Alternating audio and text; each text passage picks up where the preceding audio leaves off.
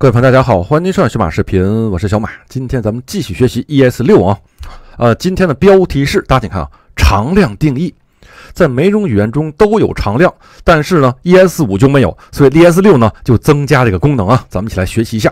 好，咱们先看一下今天的知识点啊，就一个 cost 关键字干什么呢？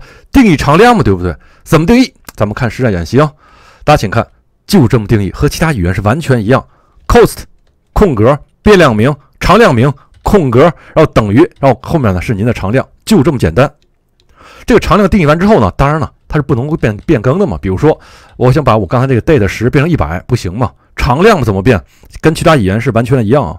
然后注意看，有一个特殊的地方，比如说这个常量呢，我定义了一个数组，有三个元素，十、二十、三十，我把它打印打印出来，没问题吧？打印出来之后。我想把数组里面的值变化一下，行不行呢？行，行啊，没问题。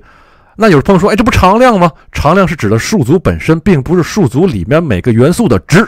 所以说呢，数组本身是可以变的，但数组是不能变。比如说，大家看这个，我把 list 让它再等于一个新数组，行不行？报错了，为什么？你变的可是 list 变量，可不是数组的值的，所以说呢就会报错。这就是常量的一些个规范啊。咱们马上运行，看一下实际的例子啊。啊，我这建个文件，稍等啊，test 点 js，然后咱们一点点的拷贝，咱们先来前三行。OK，我运行一下，咱们看一下结果。node 空格 test 回车，大家请看十嘛，对吧？常量等于十没问题，然后呢，我让它等一百，常量等于一百，这是违反规则的，所以说它就要报错。哎，怎么样？常量报错了吧？你不能够给常量赋予一个新的值，没问题吧？OK，接下来我把它屏蔽掉，然后咱们走下面的代码哦。好，咱们看啊，接下来我要定一个数组，十、二十、三十，有三个元素，能不能定义？肯定可以嘛。好，运行一下。你看，输出了吧？十、二十、三十，这是一个三元素数组，没问题吧？OK。接下来，我要变更一下数组某个元素的值，比如说第一个元素，可以吧？试一下啊。常量是数组常量，并不是数组元素常量啊。好，试一下啊。够。哎，大家请看，一百、二十、三十，说明什么？数组元素是可以变化的，但是。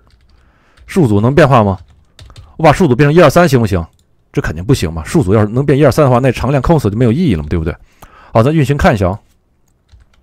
Go，，怎么样？跟刚才报错一样吧？数组呢不能够变更。有朋友说数组有很多的方法，比如说 push 行不行？咱们试试啊。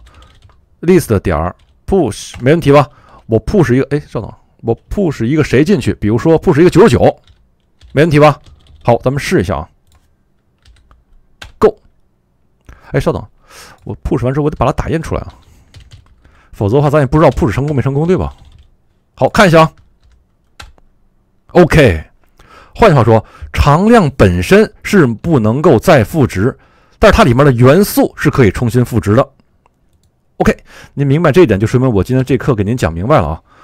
好，呃，以上就是今天关于常量定义的方法，呃，应该不是很难。